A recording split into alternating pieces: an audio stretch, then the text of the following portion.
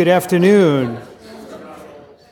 Even though most of the viruses on the planet are harmless to us, there are some that cause serious disease. And the best way to prevent that is to vaccinate against them.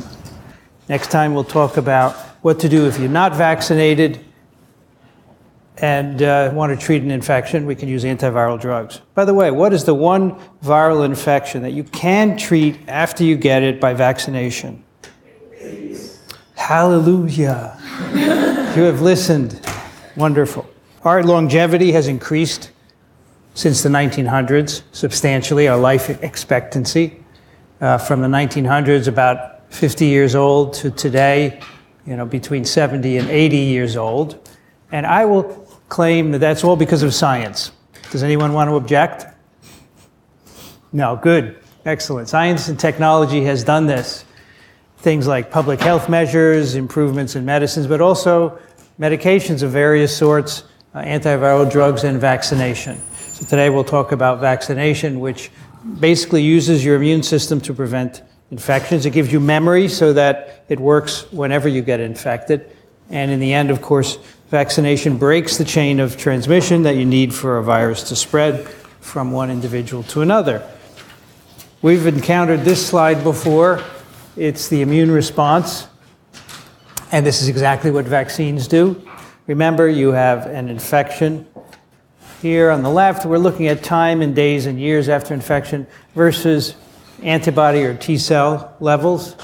First infection, you, within about uh, 14 days or so, 21 days, you have an immune response. Of course, the antibody response is too late to protect you. The cellular response helps you to recover. And if you recover, you then have protective immunity for many years. You have memory, as we talked about before. And then, if you become infected later on with an agent that you are immunized against, you have a very rapid and robust immune response that prevents infection. So the antibodies will, those designed high affinity antibodies will have been stored and they can respond very quickly to prevent infection. So a natural infection does this. And of course, vaccines do this as well. The first vaccine that we recognize. There were probably earlier ones, but this is the one historically recognized, was made by Edward Jenner in 1796. Of course, then we didn't know anything about bacteria or viruses, but we knew that certain diseases seemed to be transmitted from person to person. And when people got certain diseases, like smallpox, which is already rampant by now, if they, if they survived, they never got it again. So people began to put two and two together. Uh, Jenner uh, recognized that milkmaids who milked cows in the UK, they would get cowpox, a mild rash on their hands. They never got smallpox. So what he did was to take a few pustules of uh, the cowpox lesion and inoculate a young boy with them. He waited two weeks, perfect amount of time, and then he challenged the boy with smallpox. Now, this was not an FDA approved clinical trial. Nevertheless, it went ahead. And of course, you could not even come close to doing such a thing nowadays. You cannot inoculate people with virulent viruses. if you wanted to make a vaccine against a, nasty virus, you can do that, but then you have to send people out in the world to presumably get infected with those nasty viruses. Well, this young boy was protected. And so from that point on, his practice was used more and more. Uh, before we stopped immunizing against smallpox, we used to deliver it in a similar way as Jenner did. He scraped the material into the skin of the boy.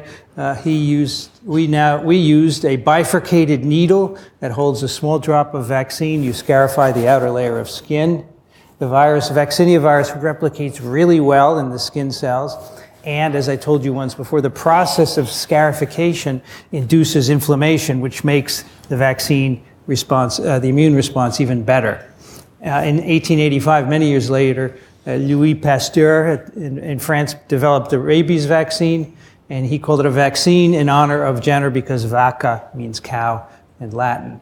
And the th- then the next vaccines were developed in the 1930s yellow fever vaccine, uh, influenza, all the way to the present. Now, just after Jenner developed his vaccine, the anti vaxxers came out. This is a, a woodcut from uh, around that time. The cowpox or the wonderful effects of the new inoculation. The publication of the Anti Vaccine Society. So you can't argue that the anti vaxxers flourish now because of the internet. Because there, I submit to you there was no internet when this woodcut was carved. People will always be able to get information. So people thought that if they took Jenner's vaccine, they would grow cow parts from their skin or wherever they got the vaccine. So the first vaccine, the first anti vaxxers, which of course continues to this day. Despite their protestations, vaccines are incredibly successful. And in particular, large scale vaccination campaigns have worked really well. The campaign against polio, which we'll talk about today in some length, was initiated in the 1950s. We used to have 20 to 30 to 40,000 cases of paralytic polio a year. That is gone now from the US. 1979, the last case of polio as a result of two vaccines inactivated in oral, which we'll talk about. Measles, same thing. Vaccine in, uh, introduced in the 60s, as we discussed earlier, could eliminate measles from the US if everyone got it, if everyone got their kids immunized, but there are still pockets of unimmunized kids that don't get the vaccine, hence, we have outbreaks now and then. Measles, in particular, is striking the effect of the vaccine. Here on the right is a graph showing the um, number of deaths prevented by measles vaccination from 2000 to 2012. So you can see the top line is the estimated deaths in the absence of vaccination going from 0.7 to 14 million a year globally. These are measles deaths. And on the bottom are the deaths with vaccination see, and the, and the bars are how many have been prevented. Millions and millions of deaths prevented. We actually mentioned that uh, earlier. We use vaccines in all sorts of our lives now. We immunize children. We even immunize adults. We immunize our pets. We even immunized wild animals. We dropped bait into the woods to try and immunize them against rabies. And many childhood diseases are rare. I grew up in a time where there was always measles, mumps, rubella, chickenpox, polio, smallpox. They're all gone now. And in fact, many people use as an argument I don't want to vaccinate my kid because there are no infectious diseases around. I hope none of you think that way because it's not really logical. Uh, so diseases are rare, but that's a first world thing because we're the ones who use vaccines and distribute them.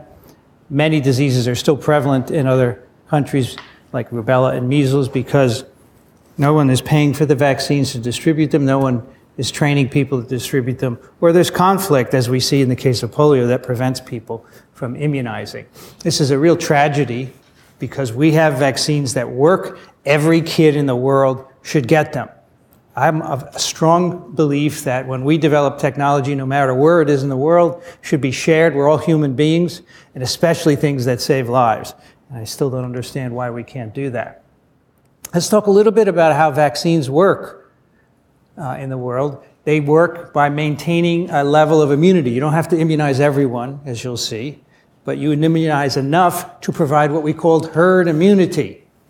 Okay, herd immunity, you immunize a population, not everyone, but you immunize enough to stop transmission of the virus. It has nothing to do with cows.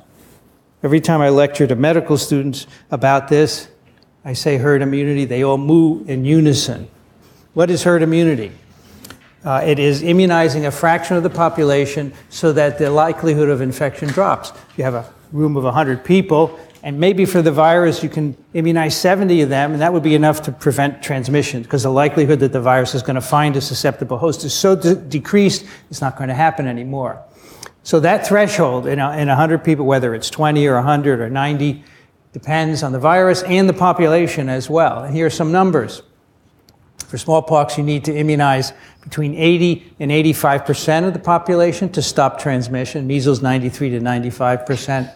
And that's not easy to do because no vaccine is 100% effective. No vaccine, if given to 100 people, will result in antibody responses in 100 people. That's just the way it is. It's possibly a genetic issue. It's possibly an issue with the vaccine as well. And so, because of that, for example, when you uh, immunize 80% of the population with measles vaccine, only 76% is immune. And we don't always check this, but in the beginning, when we release a vaccine, we, we do, and that's how we know those numbers. Public complacency is a big problem with vaccine programs. These kinds of statements, which many of you uh, may recognize, make serious problems for large scale vaccination programs People say silly things. I don't really understand. I'm not injecting anything into my body. Okay? Well, this is a problem for all of society, not just for you.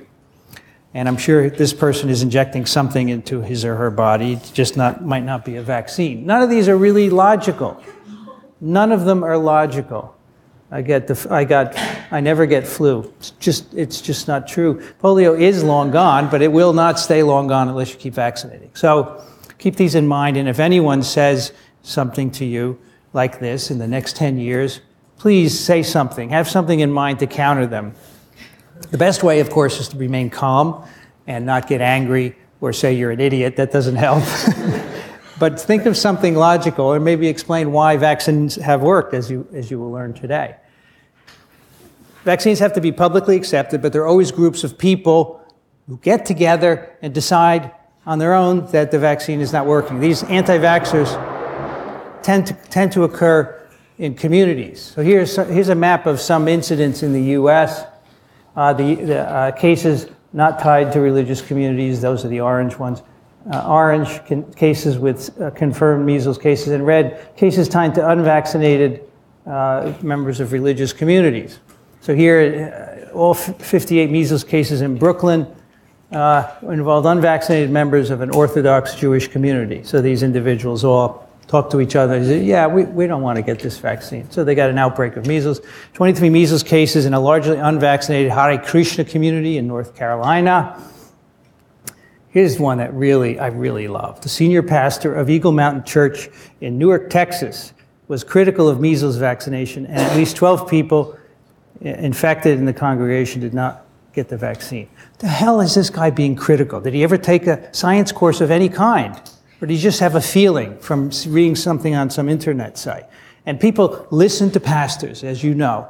Religious leaders have a lot of influence, so if the pastor gets up at the pulpit and says, measles vaccine causes autism, a lot of people are going to listen to him, even though it's a stupid statement to make. So this happens often where you have these outbreaks in communities where people are influencing one another. First question herd immunity. A demonstrates the importance of immunizing livestock. B emphasizes that not everyone must be immune to protect the population. C emphasizes that everyone must be immune to protect the population. D describes how groupthink can dominate anti vaccine choices. E, all of the above. All right, the answer is B emphasizes that not everyone must be immune to protect a population. Obviously, it's not everyone must be immune, so C can't be right. groupthink has nothing to do with, with herd immunity in, in this way, anyway. And who answered livestock? All right, let's talk a little bit more about how vaccines work. All right, vaccines are active or passive. In an active vaccine, which we're going to talk about for most of today, you put a pathogen in a person or something derived from the pathogen that induces immunity to disease. So you either infect someone with an infectious virus or a, a subunit, as we will see, and that gives you long term protection, it gives you memory. Passive vaccines are when you give antibodies to people. This, in theory, could be antibodies or immune cells, but we don't have any passive vaccines at the moment that involve immune cells. We may well have in the future. Uh, the best example is the rabies uh, antibodies. Here is a, a, vial of rabies immune globulin. These are polyclonal antibodies purified from people who have been immunized with rabies vaccine. And of course, they're screened to make sure there's nothing else in them. These don't last very long, a few months at best. Soon they'll be replaced by monoclonal antibodies that have been engineered to last longer uh, and be specific, but at the moment they're, they're still short. Even the monoclonals will be short term protection. We use these when someone is bitten by what we think is a rabid animal. While we're giving them the course of rabies vaccines, we give them uh, immune globulin at the bite site to help neutralize some of the virus. So it's injected wherever the, the animal has bitten you, you get rabies immune globulin. There's also, uh, of course, when you're born, you get a, a, passive vaccine from your mother. We, I think we've mentioned this before. Uh, as you're developing in utero here, conception to birth, as you're developing, you're acquiring antibodies from your mother. Uh, and then as you're born, you have a complement of IgG that reflects your mother's infection. And so if you, were, you encounter a, a virus in those early months, you can be protected. But the maternal antibodies decline rapidly by nine months. Of course, you're then making your own, although you don't have any immune history in your own. You have to be infected to get that. Another passive vaccine that is experimental, it's not available, is, the, is ZMapp. This is just the first one that was made uh, for Ebola virus, and it was used in the 2015 West outbreak in West Africa. Many, many other companies now are making uh, monoclonal antibodies against Ebola virus. Here's Ebola virus, filamentous virus with a glycoprotein on the left. Uh, what they did was to make virus like particles of, of, Ebola virus, so they're not infectious. You don't have to grow them in a BSL 4 facility. Immunize mice, uh, identify monoclonal antibodies against the virus, then humanize them. In other words, take replace everything except the variable region with human sequences in the antibody so it won't be uh, it won't uh, cause an immune response itself uh, when given to people. And then they actually make it in tobacco plants. It's very cheap. And you can make a lot in tobacco plants. Uh, and then uh, these, these were given to some people during the outbreak. It's not clear whether they worked or not, but they've, uh, they've since been expanded in, by other companies. And these are the three monoclonals that make up ZMapp. It's a cocktail of three, and they bind to different parts of the viral uh, glycoprotein. Another nice uh, example of passive therapy, uh, Lassa fever virus emerged in the 60s in Africa. Uh, nurse missionaries who were working there were getting sick and dying. One of them, Penny Pinneo, was, was airlifted back to Columbia Presbyterian Hospital in the 60s. She was just put on a passenger plane sitting there with everybody else because we didn't know any better back then. But she recovered in the hospital. And uh, not because anyone did anything in particular, just luckily recovered. They took some of her serum and stored it. And then uh, Jordi Casals was a virologist at Yale who happened to live in Upper Manhattan. He commuted every day. He got sick because he was mouth pipetting it in the lab, uh, and they put him into Columbia Presbyterian. They gave him serum from the nurse and it, and it presumably saved his life because he recovered. So that's a cool story, which is told in this book, which I've shown you before, the book that made me a, a virologist. So, what do we need to make an effective vaccine? We're, we're back to active vaccines now. You got to have a good immune response, and if you know whether it's Th1 or Th2, the vaccine has to duplicate that. If you know whether in an infection Protection is mediated by Th1 or Th2 responses. You have to duplicate that for the vaccine. So you have to know what we call the correlates of protection. Is it antibody or is it cells? Uh, the individual has to be protected against disease by a virulent form of the pathogen. So you can't just get enough. You can't just make antibodies in response to the vaccine. They have to be shown to protect you. And to do that, you need to do a clinical trial, and that means the virus has to be circulating. So right now there's no Ebola virus outbreak, so you can't test an Ebola virus vaccine. So that's a problem. We can test Zika vaccines now because it is circulating. Some of the requirements of a vaccine that should be safe, of course, it has to be very different from the wild type virus. It can't cause the same kind of disease. Has to give you protective immunity in the population, long lasting. Although, as you'll see today, the flu vaccine that we use isn't terribly long lasting, but we're working on fixing that. And it has to be cheap, less than a buck, according to WHO. They say if you want us to use these vaccines globally, they have to be less than a buck each. They have to be genetically stable. For infectious attenuated vaccines, um, they can't revert, as, as you will see. Storage. So far, all the vaccines we've made have to be frozen. This is a problem, because in parts of the world, there aren't freezers. In fact, for parts of the WHO polio eradication efforts, they've developed kerosene fired freezers that they can put on the backs of horses and carry into remote areas, keep the vaccine frozen. Well, that's going to change. We're not going to have to freeze our vaccines in the next 10 years or so. And then delivery is really important. We have very few vaccines that are currently orally deliverable, which is very easy. Nobody minds drinking a little fluid, but you put a needle in front of a kid, they freak out, even some adults. So it's tough to do injections. Plus, people need to be trained to, to give needle injections. So you have to have healthcare personnel to do that. Let's talk about the different kinds of vaccines that we make nowadays and how they work. So we start in all cases with a, a virus which, for which we identify a medical need. All right, that means it causes significant disease in enough people to make it uh, important to protect it. So if there are five cases a year uh, globally of a particular virus, never going to have a vaccine against that. Right? You hope that you could develop some antivirals perhaps to resolve infection, but not a vaccine. Take the virus, and then you can do a number of things with it. You can attenuate it. You can make it less virulent by introducing mutations into its genome. We make this a replication competent va- virus vaccine. We can inactivate infectivity with chemicals, make an inactivated vaccine, which is then injected. We can break up the virus into components and purify components and only inject them. These three are traditional ways of making virus vaccines. We'll give you some examples of these today. More recently, with the advent of recombinant DNA and molecular cloning, we can take viral antigens that we believe to be protective. We can clone them, the genes encoding them. So, for example, we could put those genes into a different virus vector and deliver them to individuals. We're developing virus vectors that can be delivered to people and are safe, and we can put various viral antigens in them. We can also inject people with DNA Turns out that when you put DNA right into the muscle, it's picking up, it's picked up by antigen presenting cells, translated, the protein is made, and it's very immunogenic. DNA vaccines. And then we can produce the proteins from uh, the gene in bacteria, yeast, insect cells. We can make individual proteins which can be injected, or sometimes these proteins, if they're a capsid protein, will assemble into a virus like particle.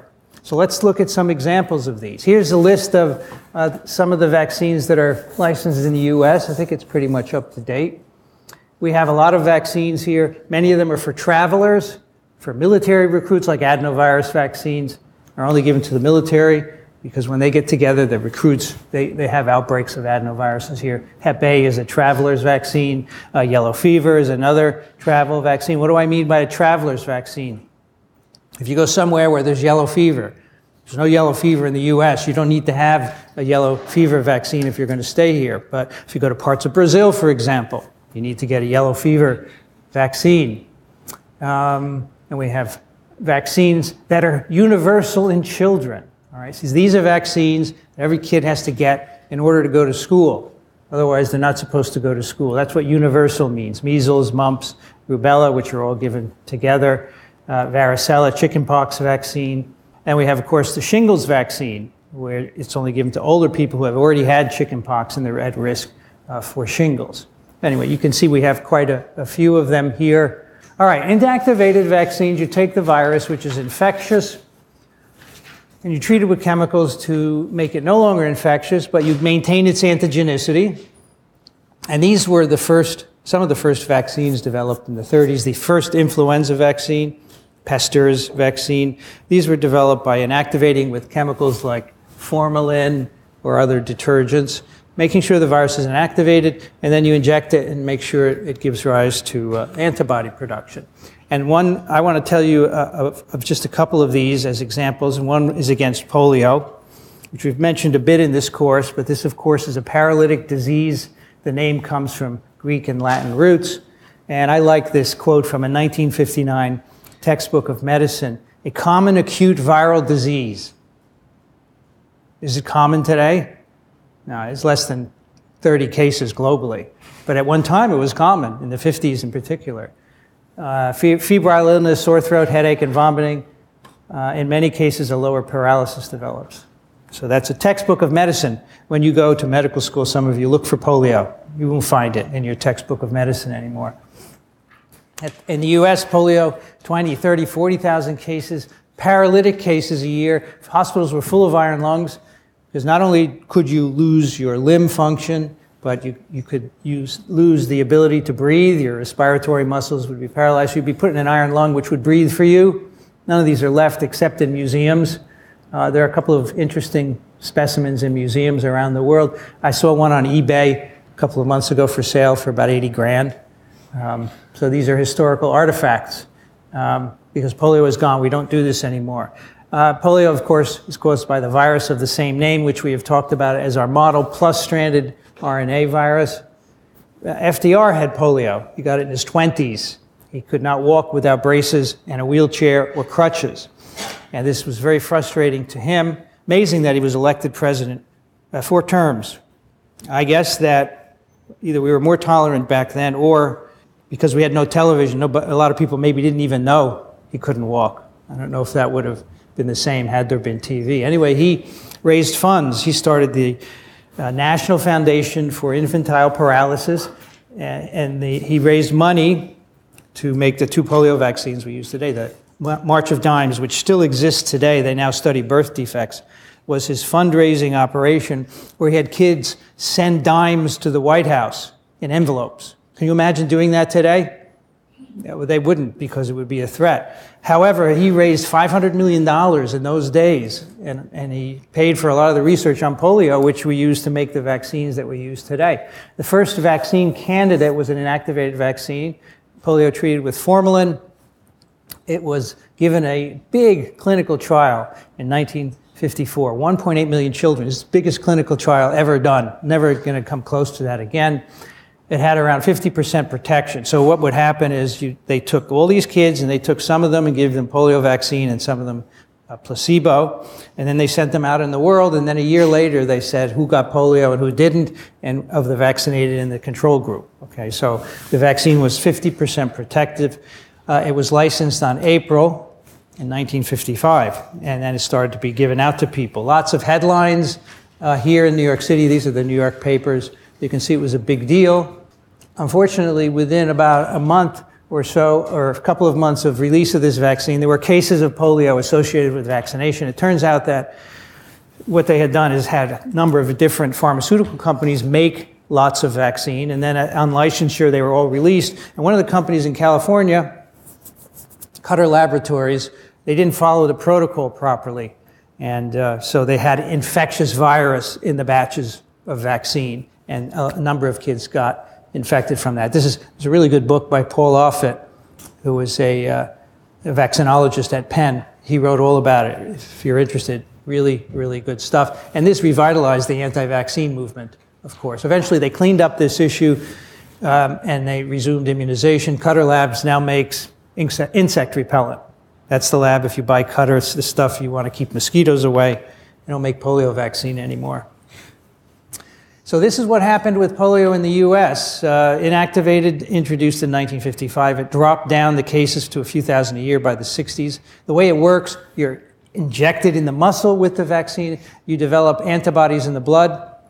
Uh, if you are challenged with polio virus, which you do by uh, ingesting fecally contaminated material, the virus will replicate in your intestines. You will shed virus. It will enter your blood. But once it reaches the blood, antibodies induced by IPV will neutralize it.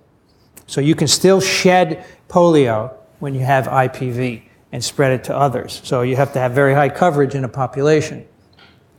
The next inactivated vaccine, influenza, which we've also mentioned, our model for a negative stranded RNA virus, this one with a segmented genome. It's enveloped, of course.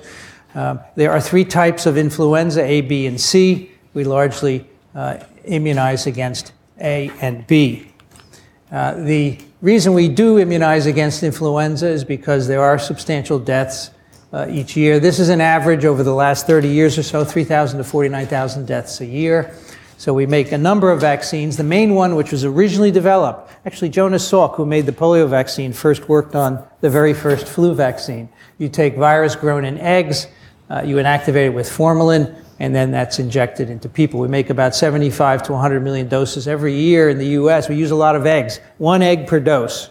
Next time you get a flu shot, just think that's one egg worth of virus going into your arm. It's about 60% effective in kids and adults under 65, but once you get over 65, the efficacy goes down and its durability goes down as well. As I said before, older people who get it after a year or so, they have no more immunity and they have to be immunized every year when you in, immunize people with this vaccine, you're inducing antibodies against the glycoproteins of the virus, the HA uh, and the NA.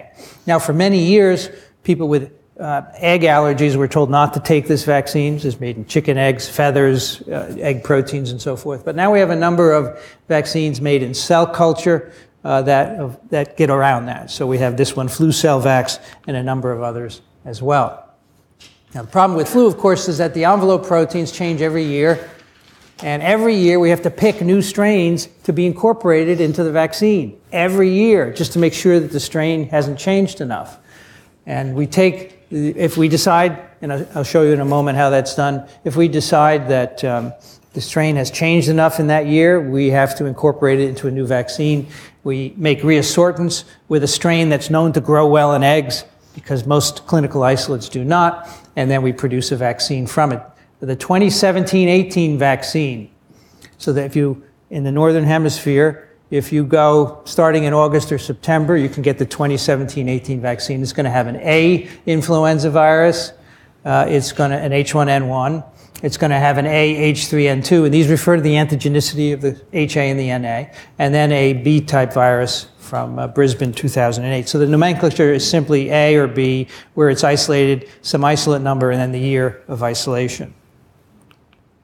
So the WHO maintains a global network of laboratories which do year round surveillance in the northern and southern hemisphere because their flu seasons are opposite. And they get isolates from people and they look at what's circulating and they try and decide whether the vaccine has to change. It's a very complicated process outlined here. At, in the beginning of the year, January, the, the WHO has to, and the CDC uh, selects strains. They have to prepare reassortants to grow them in eggs. They grow them up in eggs, standardize the antigen. They, they make sure it's the right potency. There's enough antigen present. Uh, that gets licensed formulated, tested, and packaged. And then by the end of August, you're ready to vaccinate people. And that's where you can go to CVS and you see the sign out front, get your flu vaccine for 12 bucks. It's been worked on uh, since January. Now, I interviewed one of the people who's on the uh, committee to uh, choose this vaccine, and that was that TWIV 413, Stacy Schultz Cherry. I think I interviewed her in January, and I said, and she said the vaccine was going to be announced in March. I said, Can you tell us what it is? And she said, No, I would have to kill you if I did. Those are a big secret. But anyway, it's a very interesting process. Now, again, the problem is every year the flu virus is mutating and changing its antigenicity. The HA protein, in particular, the glycoprotein, changes. And these colored residues on this model of the HA are those, or these are the antigenic sites. Uh, these are the sites against which antibodies are made. And the ones on the top here uh, are mainly the ones elicited by uh, the vaccine. And um, one amino acid change at any of these sites is enough to make the vaccine less effective because the antibodies induced by it won't neutralize the virus as well. We call this antigenic drift. Virus is continually changing. And this is pretty unusual. Most viruses don't do this. A few others do. We'll talk about them later. But, you know, polio doesn't undergo antigenic drift. Measles doesn't. So we use one vaccine for those forever. It's great. We've been using the same polio and measles vaccines forever, but here we have to change the vaccine frequently because of this, and it's a problem. So people want to make universal flu vaccines, and these epitopes on the stem of the HA, these don't change that much because they're conserved, and so people are thinking maybe these would be a good way to do that. All right, so those are two examples of inactivated vaccines. Let's do a question. Which statement about inactivated viral vaccines is wrong? Chemicals can be used to inactivate infectivity. They do not replicate. They can be dangerous if inactivation is not complete. Antigenic variation can make them ineffective. None of the above are incorrect. The answer is E. None of the above are incorrect. They're all right. Chemicals can be used. They do not replicate. They can be dangerous if inactivation is not complete. That was the Cutter incident antigenic variation can make them ineffective. Subunit vaccines, you take a virus particle, you can break it up into components, purify them, and immunize them, or you can produce the protein by recombinant uh, DNA methods. It's the modern way, and give those to people as well. You can do that in a variety of hosts nowadays, not just bacteria, yeast, insect cell, cell culture. And usually we use a capsid or a membrane protein to do this. Here's an example of a subunit vaccine just recently approved for influenza virus. It's called Flublok. And this, uh, what we do here is we take the gene encoding the flu HA protein, the glycoprotein, we express it in insect cells using an insect virus vector called a baculovirus. And the reason these are used is because these have really strong promoters and they're not human cells and you can make lots and lots of protein. So they do these in huge fermenters this big tank is full of cells making uh, HA. You don't have to use serum either, by the way. Insects don't need serum. Then you purify the protein. Here it is shown, these little rosettes, that's purified HA. And then you make it into a vaccine. This is very quick. It has been approved for 18 to 49 year olds. It's injected. It's an example of a brand new flu um, subunit vaccine. Another one, uh, hepatitis B virus vaccine. Uh, this is a good one. This has been made by producing the hepatitis B virus surface antigen protein. That's the protein that makes up this, this outer uh, shell. Remember, this is an envelope virus, and, and these are proteins embedded in the envelope, which you can just see there in pink.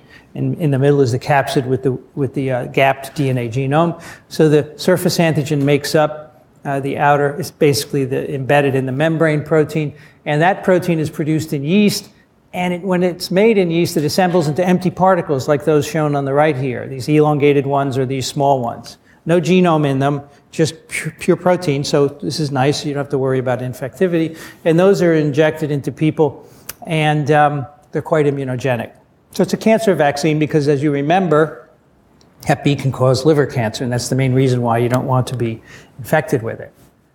Another cancer vaccine is against the human papillomaviruses. These are viruses that cause warts. There are over 170 different types. If you've ever had a wart on your any part of your body, your, your skin, your, your elbow, your knee, your, the bottom of your feet, and so forth, even on your face. It's a human papillomavirus. But some of these are sexually transmitted. In fact, HPVs are the most common sexually transmitted disease in the USA. Some of these infections cause what we call low risk genital warts. So these are warts that will not proceed to cancer, very much like a wart you might have on your hand, except it happens to be in your genital area. However, there are a number of these viruses, genotypes, that are at high risk for cancers. And these will cause cancers of the cervix, vagina, penis, anus, and the oropharynx. So the, the cervix, vagina, penis, anus, all by sexual activity, oropharynx by, by oral sex, of course. And you do not want to have oral cancer. It's really bad, and they can sometimes they have to take off your lower jaw in its entirety. Right? So be, be aware of that. 31,000 cases a year of cancers caused by these HPVs, mostly type 16 and 18. So these are the high risk types. A, recent study was just released, came out in the Times a couple days ago. It was from a CDC study, and the, the graph is shown here. Nearly half of Americans are infected with HPVs that infect the genitals, that's 18 to 59. You can see all Americans, men 45%, women 40%.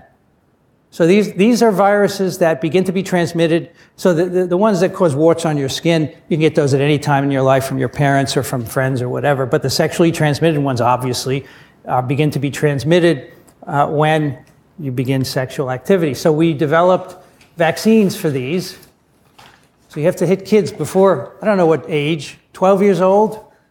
And uh, there are a number of vaccines on the market Gardasil by Merck, type 6, 11, 16, and 18, made in yeast. Another one with more serotypes, also in yeast. Uh, GlaxoSmithKline makes its in uh, insect cells.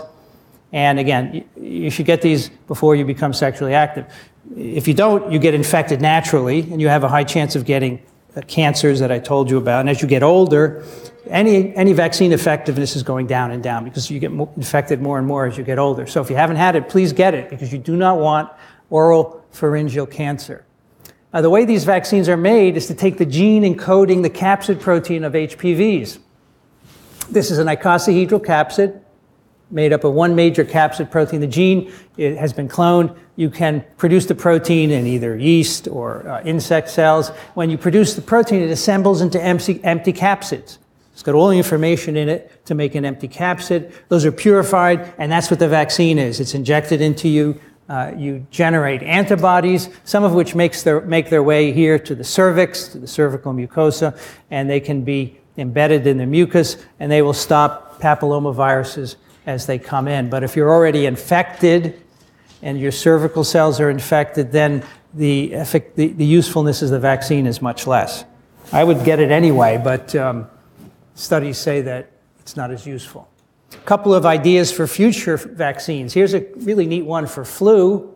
You make HA in plants. And if you do that, it actually assembles particles. The HA alone of the flu in plants will make particles. Here's one of them. They have no, uh, no RNAs in them. They only have HA in membrane, but they're quite immunogenic. Uh, and in plants, it's very cheap to do this. You can make 20,000 doses in a square meter of tobacco. This is done in tobacco because it's easy to genetically modify tobacco. 20 cents a dose.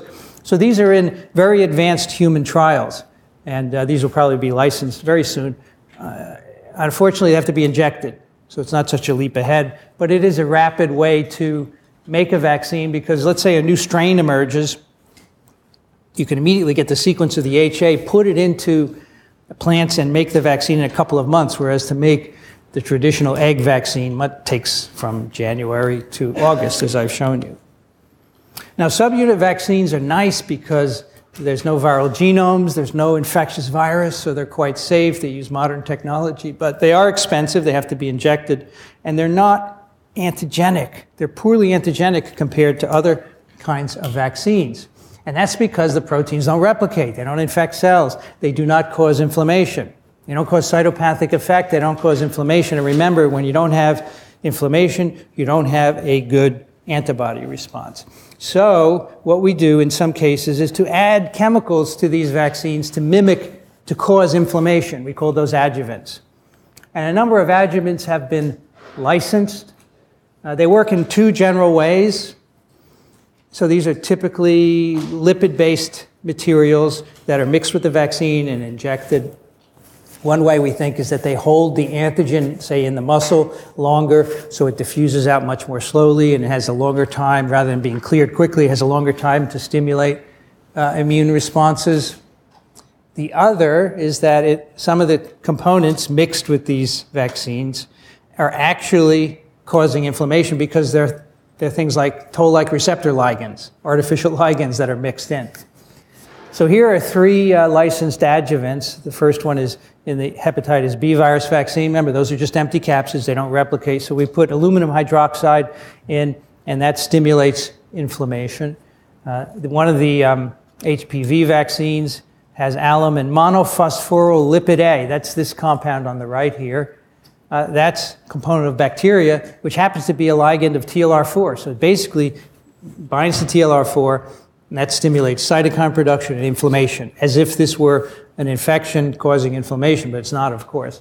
And then there's another one used only in Europe, MF59, squalene oil and water emulsion. Now, one of the negatives of these adjuvants is that when you get them, you tend to get more pain at the site of injection. What is that pain caused by? Inflammation. So next time you get an injection and it hurts, that's good. It means you're getting inflammation at the injection site. If you're not, then maybe it's not as good. All right, but, but things like adjuvants will do that, or an infectious vaccine will cause inflammation as well. So pain is good when it comes to vaccines, but people complain about it all the time, uh, but it means that it's working well. A few interesting things also being developed down the road. This is great, microneedle patch. This is going to replace needles. These are little pieces of plastic, synthetic, with tiny needles in them. You can just see the needles there. They're small, right? That's a person's finger. And what, it, what happens is the needles are embedded with vaccine. Uh, it's kept frozen. And then when you're ready to be immunized, it's put on your skin, pressed in. The needles push the uh, vaccine just into your dermis, and then they band-aid it onto your skin. It stays there. You don't need a healthcare training to put these on people. They're cheap, no needles, no contamination. This is the way vaccines are going. Remember, they said plastics, young man, plastics? Microneedle patches, mark my word, they're going to be the new thing. We're going to throw out the freezers. Turns out that adding silk, so here, some silk uh, bits here from silkworms, uh, or sugars of various sorts, incredibly thermostabilizes virus particles. So what you do is you mix the silk or the sugar with the virus, and then you dry it out, and the the silk or the sugar forms a matrix around the particle that completely thermal protects it. So here's an example of uh, these fibers wrapping around virus particles. So here's a cool experiment where we've looked at measles vaccine potency, 45 degrees for different weeks. They've done it at different temperatures. 45 C is very hot, right? And so uh, here's the regular measles vaccine in the black squares. Uh, you know, it's, it's rapidly losing potency. Just a few weeks at uh, 45 it's over half gone, which is not good at all. You will not get a good protective immune response. But look, with, uh, I don't know if it's silk or sugar in this experiment, 45 degrees, it's pretty much maintaining its near, near 100% potency for 25 weeks at 45 C. So that means you don't need a refrigerator to store these anymore. This is going to come on the market as well. These will have to be tested to make sure they're immunogenic and protective.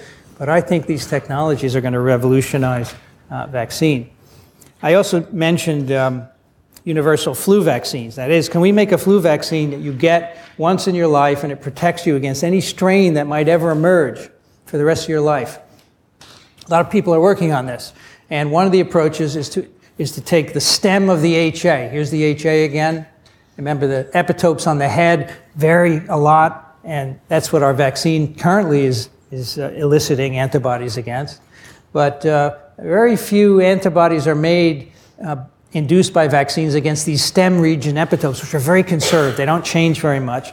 But people do have these epitopes in them. They have antibodies against them, and they're broadly neutralizing. So people are trying to figure out how to induce antibodies to these stem region epitopes, and some of the approaches include making headless HA molecules. You take the head off, against which most of the antibody response is directed, and now it's directed at the stem. And again, these are also in trials, and you'll see more of this uh, emerging over the next few years. So it's possible that you won't have to get a, a flu vaccine every year. Now, it doesn't take care of the issue that older people don't have good memory. That's another issue that has to be taken care of. All right, uh, our other question today what are some requirements for an effective vaccine? Low cost, ease of administration, pro- provides long lasting immunity, minimal side effects, all of the above. Answer is E, 100%. Now you set a record this class. How many did we get 100%? Four or five? Remember? That's the standard for the future. All right, let's talk about uh, infectious or what we call attenuated vaccines. Here you take a virus that's infectious, it causes disease, and then you modify it some way so it no longer causes disease. Typically, this involves making genetic alterations to it. These are interesting because the virus replicates, you get good immunity, it mimics a natural infection, except it doesn't cause disease, either mild or in apparent disease. Uh, the idea is that for an activated vaccine, typically you need multiple bo- boosts or doses to get a good immune response. You know, the first one isn't quite enough, but a second or third uh, sometimes does it. And that's certainly the case for many of our inactivated vaccines. You need more than one shot. But a replication competent vaccine replicates, and therefore you need just one shot in theory. It will replicate and boost immunity, and you get a nice immune response. How do you make these? Well, in the old days, you know, leading to the uh, the first, well, actually, the first infectious attenuated human vaccine was yellow fever vaccine, uh, made in the 40s, right here at Rockefeller University, uh, followed by the polio vaccine. You take a virus and you simply pass it in different kinds of cells. So here they're passing the virus, which is a human virus, in monkey cells, over and over in monkey cells. And the idea is you adapt the virus, or you select for viruses that are really good at, at growing in monkey cells, and then maybe when you put them back in human cells, they don't grow as well, they don't cause disease, but they still cause an immune response. Yes, this is an empirical approach. It's hit or miss, and that's how the, the polio vaccine was developed. So today we have an infectious attenuated flu vaccine called FluMist. This is a uh, virus that is intranasally administered. You take a little bit of the virus, in fact, it comes prepackaged in a syringe without the needle, of course. Just put the syringe in the nose. You you, uh, you squeeze it while they inhale, goes into the nasopharynx, replicates in the mucosa, and makes pretty good immunity. It has the A and B strains that we've talked about, the exact composition, as we've talked about. We use reassortants of master donor strains, but the donor strain in this case have particular properties that were selected a long time ago. They're cold adapted, and temperature sensitive and attenuated. So what do these things mean? Cold adapted means they replicate much better in the upper tract where the temperature is lower. They don't tend to replicate in the lung, and that's good because that if they did there, they would be more likely to cause disease. Temperature sensitive, again, prevents them from replicating in the lower tract. And attenuated means in ferrets models of flu, they were shown not to cause disease. Of course, these have all been uh, trialed in humans and they're safe as well. These replicate only in the upper tract and give protective immunity. If you have a choice ever, I would pick this vaccine. I think it most closely mimics a natural infection and gives you the best long lasting immunity. Unfortunately, they run out of it very quickly because only one company uh, makes it every year and they don't make a lot of doses. We also have infectious attenuated vaccines for polio. It's called the Sabin oral polio virus vaccine or OPV.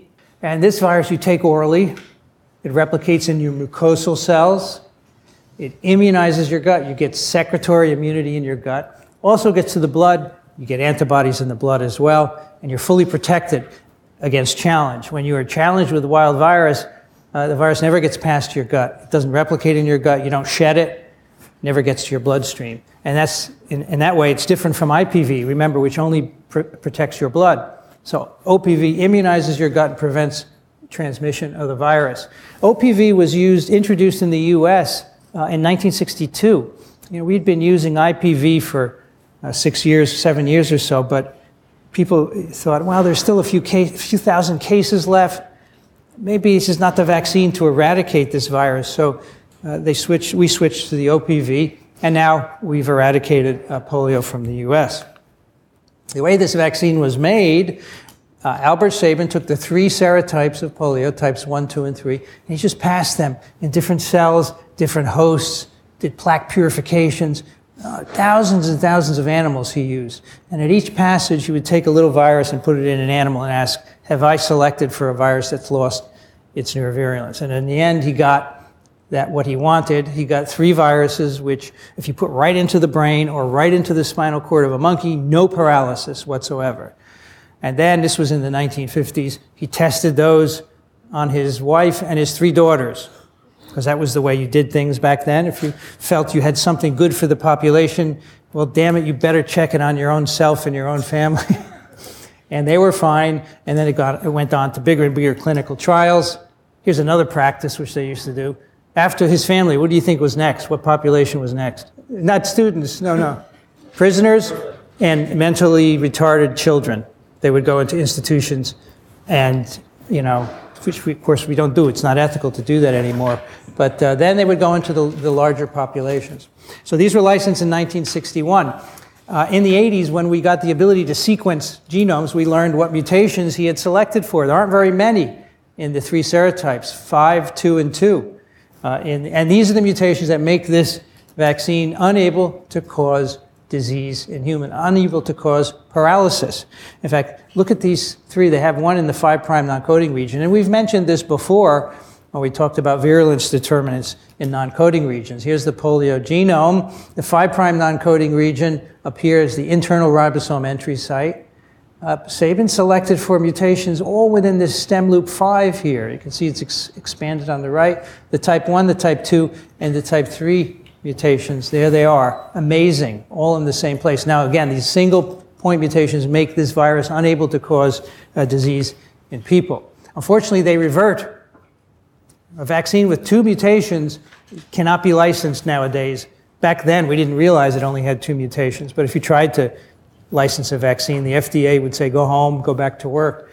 Here's the first experiment done to show that reversion. Phil Miner was a corona virologist in the UK I knew very well and his first son, David Miner, he took all of his diapers and brought them to work after he got the polio vaccine.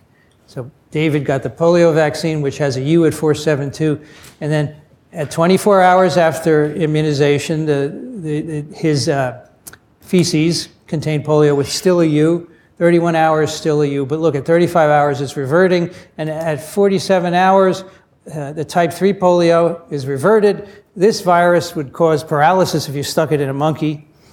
David Miner was fine. And in fact, this occurs in every kid who gets polio vaccine. They're fine, except for one in one and a half million, which unfortunately do get paralyzed from having uh, this virus reverting in them. But we think that the reversion is, in fact, part of the, uh, the reason this, this vaccine does well. So I was always interested in those one and one and a half million kids who get paralysis from the polio vaccine.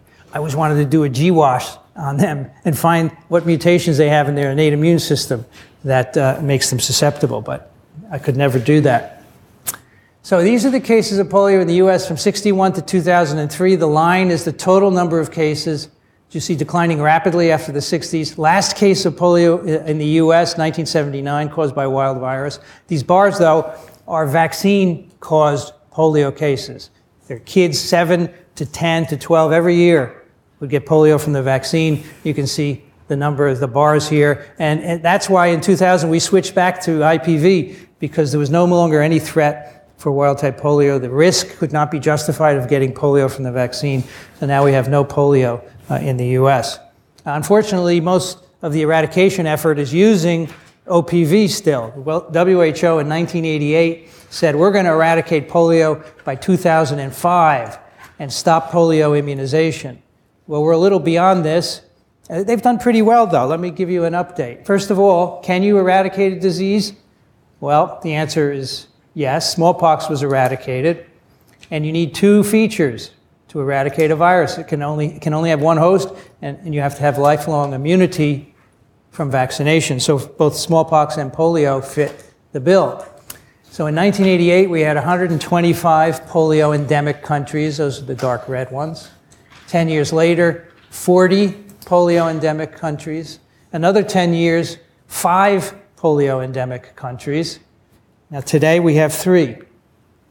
The only countries where we have not eliminated wild type polio Nigeria, Afghanistan, and Pakistan. Every other country has eliminated wild polio. However, all right, look at the numbers here. This was at the end of 2016 20 cases of wild polio. But look, three cases of vaccine derived polio. So the orange dots are cases of vaccine derived polio viruses, which crop up all over where people allow immunization to drop, and then the vaccine derived strains, which are constantly being introduced into the population because we're using OPV to eradicate globally, end up being a problem. So WHO is realizing this and they're slowly switching essentially to uh, IPV.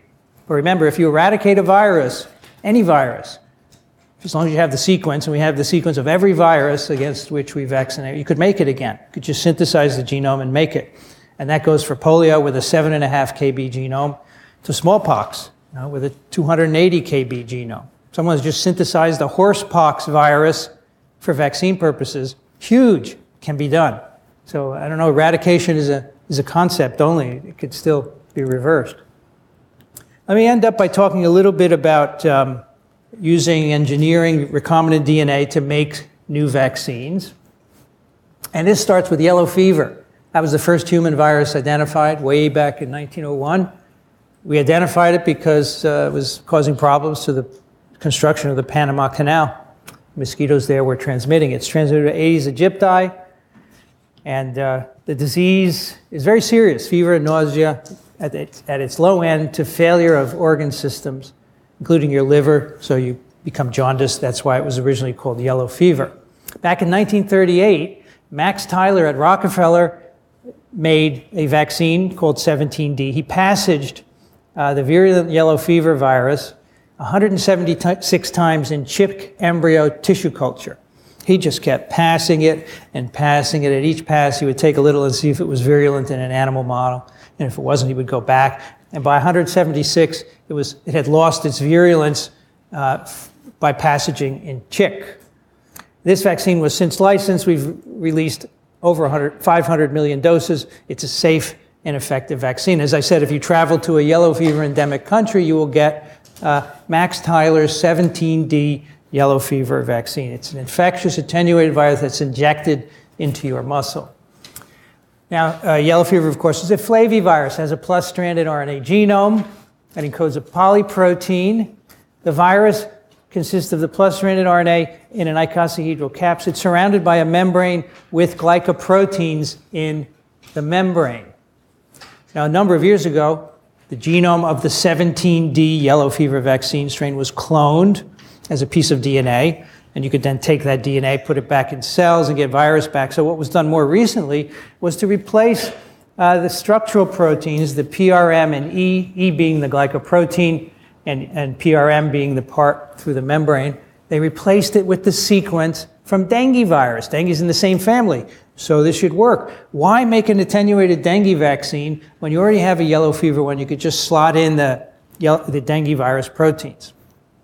So that vaccine was made. In fact, it's just been licensed. It's called Dengvaxia. There's a box for it.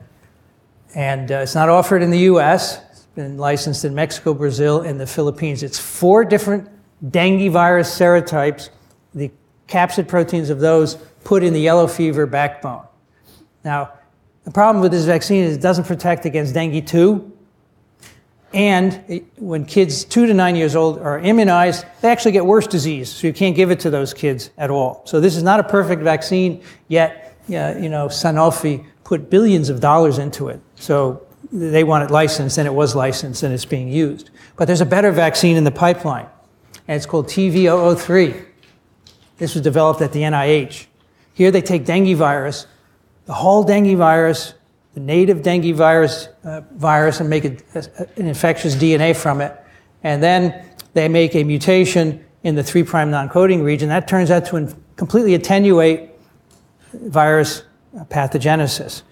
And um, so this is a tetravalent attenuated vaccine produced by mutagenesis. They gave one dose to people in a clinical trial. It got 100% protection, really effective. So this is going into further clinical trials. So what's different about this? Well, one of the ideas is that by just using the dengue E and PRM proteins, you, you, didn't, you don't have all the epitopes from all the non-structural proteins from dengue. And maybe you need those to have really good immunity, especially in young kids or against type 2 and so forth. So here, this vaccine candidate has, is pure dengue. It's not dengue slotted into yellow fever, and that might be why it's better. So this one, I think, looks very good. This may end up being uh, licensed eventually. It's going to take some time to go through phase two and three, but it may replace uh, Dengvaxia. I mention that because it's a great, a great example of how you can use genetic engineering. You take an infectious clone of a virus, make mutations, identify ones that attenuate the virus, you can make a vaccine out of it. So let's end up talking about Zika vaccines. There's a ton of them being developed now. This is a flavivirus also, yellow fever and dengue.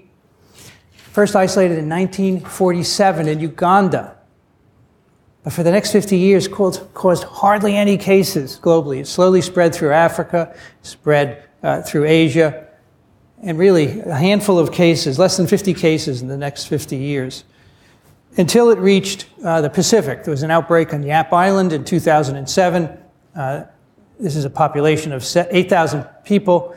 Um, 73% of the population was infected. First, the first big outbreak ever, and then it spread throughout the um, Pacific, eventually made its way to Brazil, where it was associated with microcephaly, and then it became uh, uh recognized on the world stage. But for many years, not doing anything.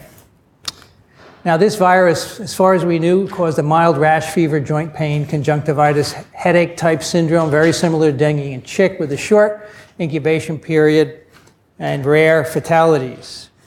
And something obviously happened when uh, it started entering fetuses. We now know that infection is associated with a number of central nervous system complications.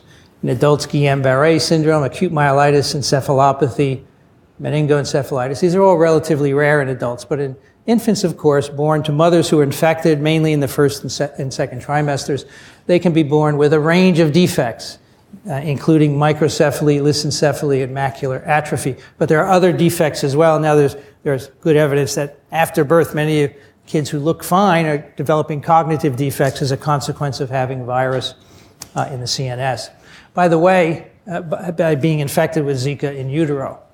Many people feel that the virus mutated in order to acquire these new properties. I don't think so. In our lab, we've been doing work on it, which suggests that the virus always had this ability to infect neural culture since 1947, and we probably just didn't see these complications uh, in the other countries where it was spreading. Now, these are all the vaccines that are being developed against Zika virus. There's a huge uh, outpouring of interest by labs and pharmaceutical companies we're making attenuated vaccines, inactivated vaccines, recombinant DNA vaccines of various sorts, uh, DNA vaccines alone. Over 15 different vaccines are now in phase one trials and more in development. It's really remarkable. So let me walk you through a couple of those. Uh, one of them that's very interesting is a DNA virus vaccine or a DNA vaccine. Uh, what they have done is they've taken the DNA encoding the PRM and E proteins, put it in a plasmid, and then the DNA is simply injected into the muscle. As I said, that DNA is picked up by antigen presenting cells, which are good cells to be uh, producing antigens, right? They'll then uh, present it to T cells in the lymph node, uh, and you get a very good immune response. And so this has been tested in mice. So here on the top right are a number, 10 different mice who have received a, uh, a, just a vector DNA inoculation. They're not. They're then challenged with Zika virus. The virus makes a viremia in them. Um, so the, these are wild type mice in which you get a viremia, but you don't get any disease. You get a peak of viremia, as you can see, uh, and then resolved, and, and, there's no fatality. But if you uh, immunize these animals with the DNA vaccine encoding PRM and, and the E glycoprotein, uh, no viremia in any of the mice. So that's that's the basis for this going into phase one in people to test safety. And that will probably move forward as well. Um, here's another vaccine that's being developed, which uses vesicular stomatitis virus to express uh, the E protein of Zika. So on the bottom is Zika virus. There's the E coding region. And what they do is they take vesicular stomatitis virus, which not really a human pathogen. It can infect people under certain conditions, but it's an animal virus that has been shown to be safe in people as a vector. So you take the, the glycoprotein gene of VSV, which is here, the, the G protein, and you substitute it for the, uh, with the E glycoprotein of Zika virus. So now you have what we call a pseudotyped virus. It's VSV producing the glycoprotein of uh, Zika virus. And this has also been shown to be protective in mouse models as well. It'll go into uh, human trials also. Just this morning, a new paper came out, which I stuck in at the last minute. And a live attenuated Zika virus vaccine candidate induces sterilizing immunity in mouse models. So what they did here, here's the Zika virus genome. Here's the 3' end. They introduced a variety of deletions in the 3' non-coding region. You can see 10 bases, 20 bases, two different 30 base deletions. And it turns out that uh, one of these, I think it was the 20 base or the 10, uh, replicates quite well, doesn't cause disease, and when you immunize mice uh, with these, uh, they're protected against Zika infection. Now, this is the same strategy used to make TV003, that new dengue vaccine. A mutation in the 3' non-coding region attenuates the virus and makes it a good vaccine candidate. So, a lot of activity in Zika. I think it's unprecedented in part because of its role in microcephaly and other birth defects. It's mosquito transmitted, so you really can't control uh, when you get it or not. So we'll see these come to market in the next five years or so. But most likely you won't be getting this. We don't have Zika here in the US except a little bit in Florida and Texas because that's really the only places where Aedes aegypti circulate. We don't have them up here in New York City. Haven't had them in New York for 50 years. So the only Zika cases we have are imported. People get infected elsewhere and bring the disease back, but it's not transmitted among people because there's no vector for infection. So for us, uh, these vaccines will be travel vaccines, like yellow fever. Eventually, the dengue vaccine will be a travel vaccine for us. You know, if you want to go to places where the virus is endemic and you don't want to get dengue hemorrhagic fever, you'll get it as well. But it's very interesting that you know, development has really surged forward. It's not going to help us all that much, but I think that's great. I think it's great that we can help other countries in the world that have a Zika problem and can't develop their own vaccines.